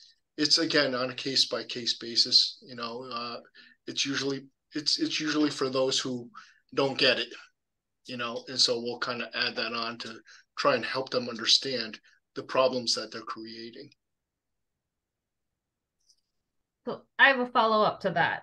So that means, you know, as we've been wrestling with how to write the violation section and the enforcement section, something like I think Boston's is you can't write the nuisance house, the nuisance property violation until for say noise complaints violation tickets have been written. So in that sense, that would lessen the number of tools you have. And so you would almost then recommend that whatever we write be allowed to be issued on the first sort of violation at the discretion, but maybe then ramp stuff up for some of those other types of things where we were talking about meeting with town staff and complaint, you know, or or plans and stuff like that. But that you you wouldn't want to see sort of the Boston a sole Boston approach that only kicks in after so many calls have been made or so many tickets have been written. Right. I guess to answer your question, the, the way that we have the nuisance house violation uh, right up currently, uh, basically the portion that we enforce, I like it a lot because it does give us a lot of discretion. It gives us a lot more latitude. Um, so it doesn't have to be a repeated offense. You know, if it's like I said, a lot of times it's so egregious that, that we will apply that right away. So I would prefer that portion of the nuisance house bylaw uh, to remain the same. I would like to add on to it because I do know that a lot of our town councilors, their constituents complain about other things, uh, such as littering, such as you know, again, garbage, and uh, just just basic upkeep of the property, which is not being met. Um, this, I think, will give us a, a tool, at least the town, not necessarily us, but will give the town something, a tool to be able to try and mitigate that. So I, I guess that's how I see it. I like our nuisance portion from the police department, but I'd like to add on to that. Thank you. Jennifer. Um, yeah, so I recently learned from the town manager that if there's a if the police are called out to a residence for like a noise disturbance, Mhm. that the property owner actually isn't notified. That I guess um, Bill Laramie will usually try and come out later to talk to the residents, which is great. But if I were a property owner, I think I'd want to at least be notified. I don't know Well, how. It, That's not entirely true. So we Okay. do make notifications, you know, especially most of the the larger apartment complexes. So basically Bill Laramie will have a list of all the landlords. And we have landlord meetings probably twice a year. And usually these landlords, they want to be on that list because they want to be notified about noise complaints and issues that they're having with their property. So with this list, and there's probably about I would say at least 60 different landlords, you know, stemming from even the large ones, Puffton Village, Townhouse Apartments, and all the different rental agencies. So if there are noise complaints that are that apply to their properties, Bill Laramie does send a notice out to them um, to let them know exactly what happened. Um, so, but there are some. There's a lot of smaller landlords that that don't participate but we welcome them to if they want the information we're more than happy to give it to them so that's that's so we do notify them we just don't notify all of them Now, would it be helpful to have it in the bylaw that they would be notified? You know, anyone that you have an address for, which I Yeah, assume you would. absolutely. But absolutely absolutely and, and we'd be Thank- more than willing to do that in fact you know not only bill laramie uh, but also our patrol staff on all of our noise complaints we have follow-ups so we go back to uh, the caller just to see if there's any further issues and we do follow up with the uh, the um the people who were complained about to talk to them which is great. Thank So- you. It is, it's great.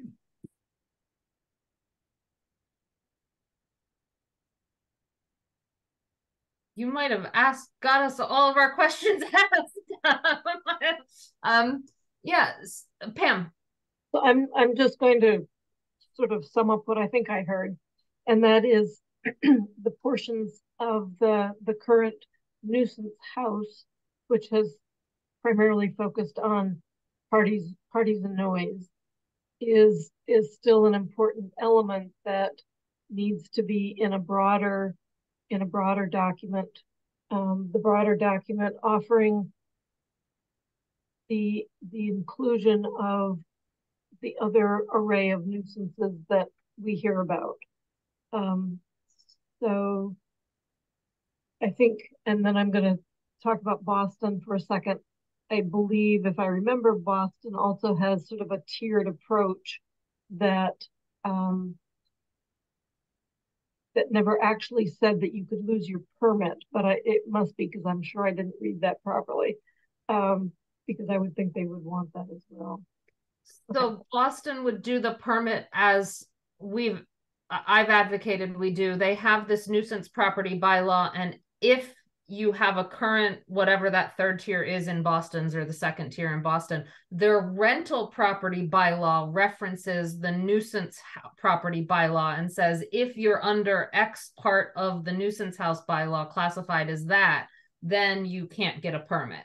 So that that's how we've sort of done it right now for ours, but we removed that because we're in the middle of, you know, fixing the nuisance house and redoing that one. So, but that's always that that's somewhat referenced a little bit about allowing some of that, and we would clear up that referencing in the rental bylaw itself.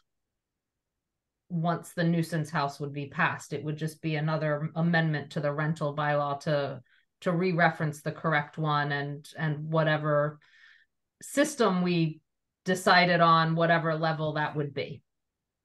So that's how boston does it. So I just want to say that, um, you know, I recognize that there's many different perceptions, there's different attitudes towards, um, or the sensitivity towards noise and parties and whatnot. You know, you, you have some people in town who say, well, you know, it's a college town. So, you know, it's to be expected. And then there's other attitudes where it's like, well, you know, they live in this town, we live in this community to, together. And just because they're college students doesn't give them the right to be able to just uh, basically not think about their neighbors. So I understand the dynamics of all that. And so that's kind of why I formulate the opinion that, you know, I'd like to have more tools to use. Um, it doesn't mean that we have to go out there heavy handed and just start, you know, throwing fines left and right. You know, we try to do everything in a reasonable way, in a reasonable manner, and to make sure that that we're trying to gain compliance in essence. You know, we'll again, I don't want to pick a fight with the students. I think that's a losing battle. Um, I wanted to try and get them on our side to help us, which in essence helps them. So that's kind of my goal. Thank you, Pat. Yeah, I really uh, commend that attitude. And I also, you know, in terms of several neighborhoods, I used Grantwood just as an example. They've had some horrendous times with mm-hmm. students and parking and all kinds of stuff, and still sometimes do. But I feel like the department's response through Bill Laramie and meetings and other people as well, you've been at some of those meetings, you've really come out and it has begun to change the neighborhood. It has begun to create relationships um, between permanent and non-permanent residents that I think are important. So I want to commend the department for that. Yeah, I appreciate that, Pat. I mean, we we take it very seriously. You know, uh, especially I grew up in this town, so you know, I all I, I'm very intimate with all of those neighborhoods, and I've seen how those neighborhoods have changed. You know, as a kid, I used to hang out Grantwood Drive all the time. I have a lot of friends there, but you know, as as the families have grown older and whatnot, and they've moved away. Unfortunately, a lot of those houses have turned over to become rentals and whatnot. So that becomes a new challenge for each neighborhood. Right. So it's it's for me, it becomes a little personal as well. So we take that uh, very seriously. So thank, thank you. you. So I have a, a slightly more practical question, um, which is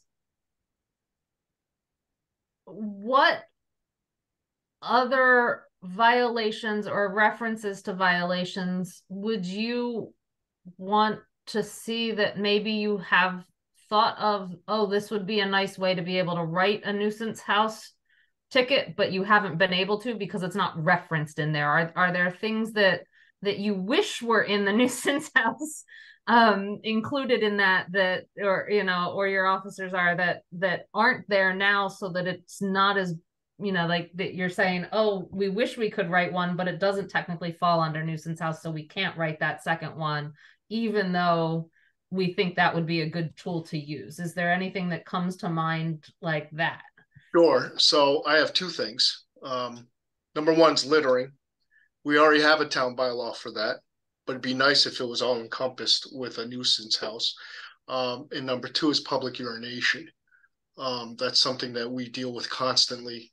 You know, especially with you know, if you go to any house party, you're going to see college kids publicly urinating all over the place and we don't really have a means to mitigate that other than charging them with disorderly conduct, and disorderly conduct is a criminal charge. Um, is that a little bit too much? And I guess that depends on on whose uh, whose perception that is. You know, it'd be nice to have a happy medium.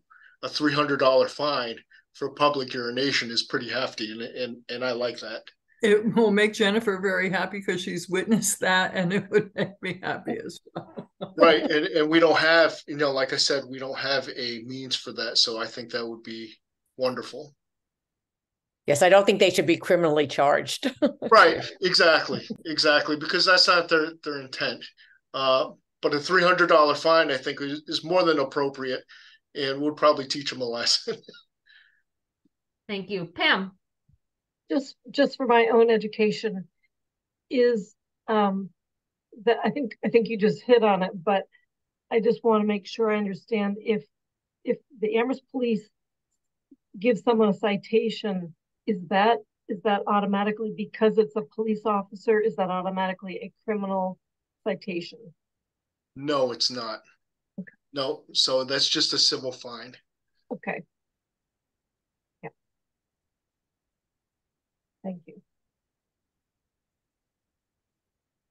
anything else for Chief Ting while we have Chief Ting here, specifically for Chief Ting here? Well, if not, I'm always available too. So um, no. you can always contact me if you have any questions offline. I'm always available. As I I, appreciate said, I- that because I have and you do. yeah, I appreciate it, and I appreciate Athena for for tagging me and saying, "Come on, Mandi, you need to talk to Chief Ting. you're committee needs to talk to Chief Ting." So I, I and I appreciate that you're here. You're you're welcome to stay. We have about ten more minutes left in our meeting. I want to get to um, it, we're going to continue on nuisance house because because because this is where it is. Um, we have to find a way to get to a new draft, and that that's that's the other thing I'd like to to talk about. I think this latest draft, we kind of were stuck with the enforcement part, but given this conversation, given a Boston option uh, that would obviously be tailored to what we've conversed, and given where we are with our current draft, what are people's thoughts on how the next draft should look or where we should go in the next draft um, of it? And I can pull up our current draft if that would help people. Um, Um, I wouldn't mind offering to take another stab at it. I think I've ended up doing a, a bit of the, of the work on this one. But it would be, it would be very helpful actually to just start with a clean copy instead of track changes all the time, which is really hard to read for Right. everybody. Yeah. So this one, I think the biggest, you know, we've gotten into what do we include in public nuisance violations, but from this draft, I think the biggest concern and where we were stuck and wrestling with were sections D for the persons liable, um, which Chief Ting kind of follow um, the current bylaw, but use different wordings, but but sort of follow it Mm. in in terms of um sort of thinking about first second third offense. Um it's it's just not really worded that way. It's it's it's got some other wording. Follow that. And then the enforcement and corrective action plan that we were trying to add in there are sort of mainly this corrective action plan was where we were struggling with. Um i i would certainly welcome Pam taking another stab at it, potentially not even with track changes, just just doing a new, you know, sending us something clean, right? Um, I'm I'm gonna put Boston's up for second. Um,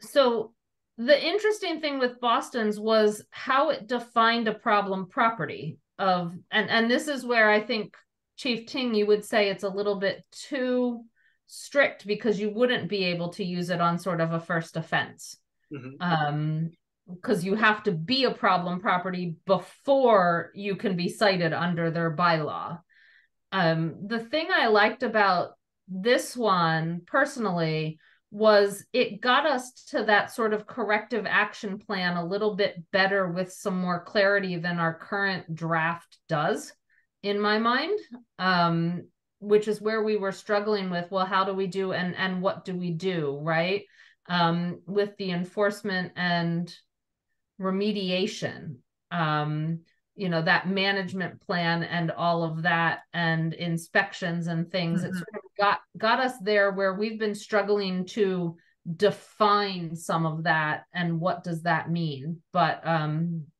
it was to me a little cleaner. But i i get what chief ting is saying is right now you can write that that citation on a first offense that this one you can't write until you've met at least one of those three criteria. Mhm. And not even necessarily a combination of those three criteria. So i'm not even sure that um uh, three calls to a property in 12 months for criminal offen- offenses plus one complaint for noise would do it. I think you'd have to meet four you know like each one of them separately which might be a little bit too challenging. That's a Uh, lot. pam? Yeah, I'm, I'm a little confused what the the what's trying to be accomplished here. We have we have a number of issues that each could receive, you know, a citation. We have violations. We have, you know, call it 10 different things that could be a violation. So it's not it's not as though we're calling anything a problem property or a nuisance property right off the bat. It's just violations occur, there's a citation. Um, the way the way we were trying to craft our our bylaw is that that with the third with the third violation of out of that whole list there was there is the there is then a a designation of something being a problem and the owner and the and the manager are notified. Doesn't and and and a, and a, uh, a remediation plan is requested. So it's not it's not i don't think it's that different than boston. If right i think i think the difference with boston was that upon that that the nuisance bylaw doesn't even start being applicable until you've had say four sustained noise violation citations written. Right. And this one and our current nuisance house you can write that so so you can't in boston write a citation for a nuisance house and go through the problem property thing at all until you've had say four noise complaints that have been ticketed.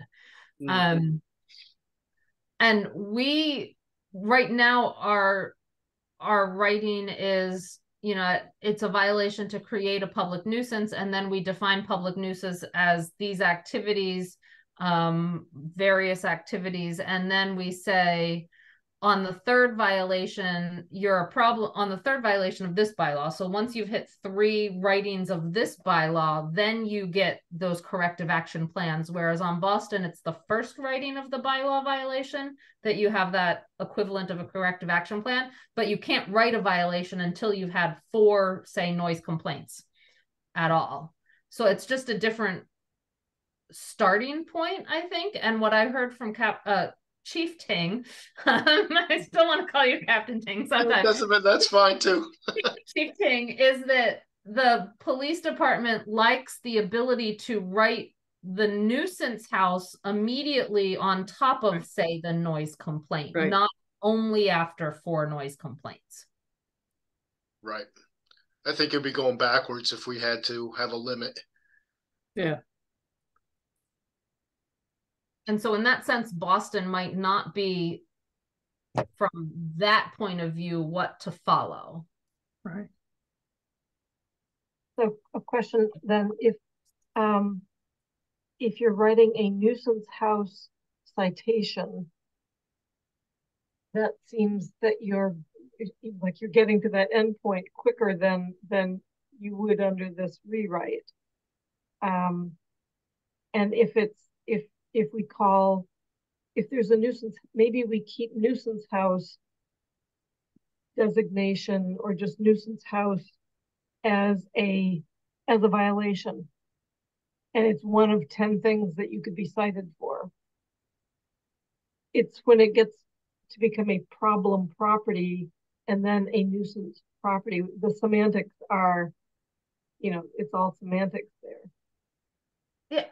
Yeah that that's an option. I'll go to you jennifer just in a second that that maybe we keep the nuisance property or nuisance house or whatever as this one and then create a, a more more things something like boston but i'm not sure i like that. Or we could one thing we don't use a lot that maybe this one would benefit from is right here we have criminal and non-criminal and it just says 300 fine it could in in other bylaws we've said first offense x fine second offense x fine third offense x fine.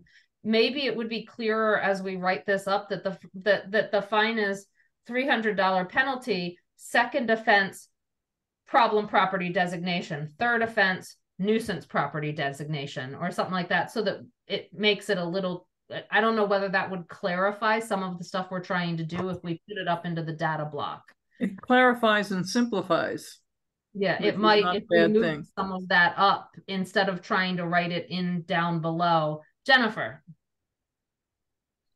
Um, yeah, no, I think that's good because what might be different here than in Boston is, you know, if you think of it for the most part, you're having, or a number of these properties, you're having new tenants every year, but to the neighbors that are there continuously, I guess if it always, this way, yes, it gets a little quicker. Otherwise, they always feel like they're starting over. Right. But from their point of view, it's just continuous noise. They're not really. pro- So I think, yes, the, if we have to wait till four, I guess what I'm trying to say is every year you're going to have a new, and then for the residents, it's never going to get to a point where you can really address it.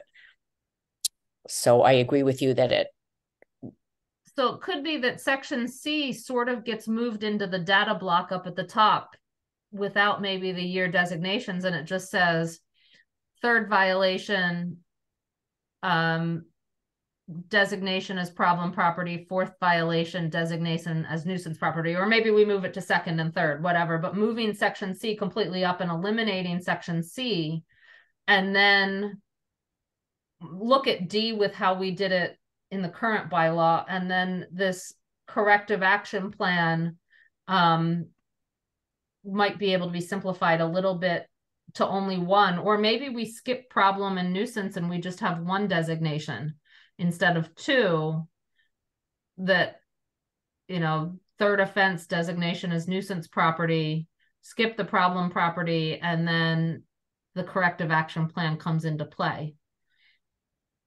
just just thinking out loud here pam a comment on that.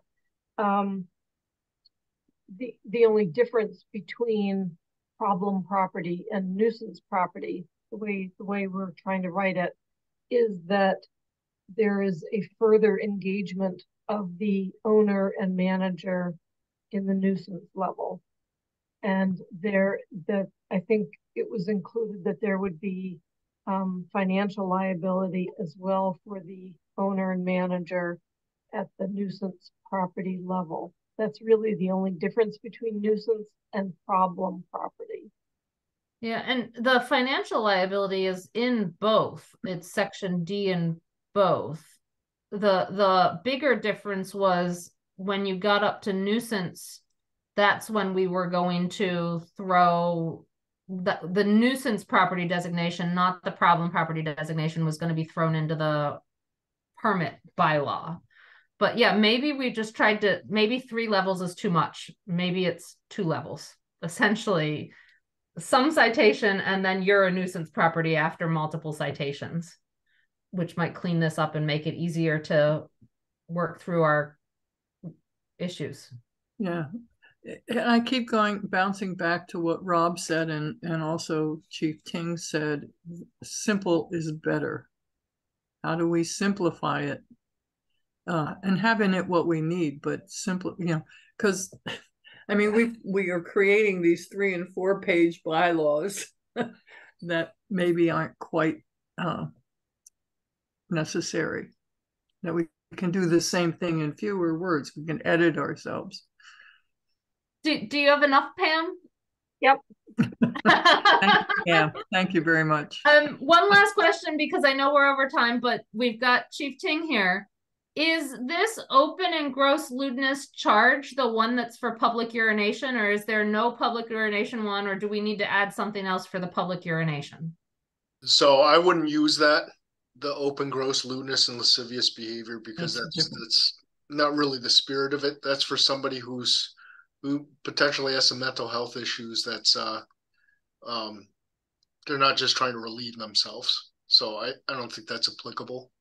Um, and that's that's a pretty serious criminal charge that that I don't think would be solved by a, a three hundred dollar violation. You know, that's Okay, so- something that the courts need to need to visit.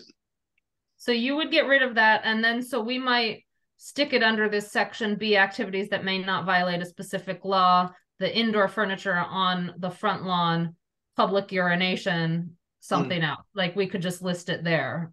Right. Yeah, Is a zoning bylaw change or a general bylaw? No, as as as this one here. For the public urination. So delete C up here, but add public urination as a number two after indoor furniture on the front lawn. I put public for uh urination above. Put it above, but in that section. In that section. So, so, so do we, do we eliminate the open gross lewdness altogether? I think it, it is applied, it is used from time to time. But Chief? it's a very the- different, I would get rid of that because I don't think we would ever issue a a town a town bylaw citation for that. That would either be a summons or an arrest. You know, open gross lewdness, that means somebody is is flashing or Yeah. uh you know, it's it's egregious. Okay. Thank you. I think we've given Pam enough work. Um, I, I wanna, I'll have it- I'll have it to you by January. I would love to get this one off our plate. Oh, that would be of lovely. November for two readings in December. Uh, that that's a tough tough act because this is our last October meeting. We only have two meetings before that, so I know it's a tough act. It, it we might have to. I'm going to be writing the transition memo soon.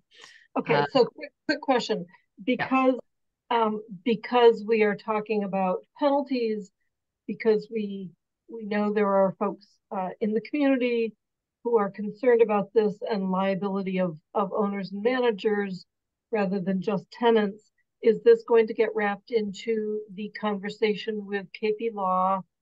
And what, you know, so basically whatever we do with this, it's still under review.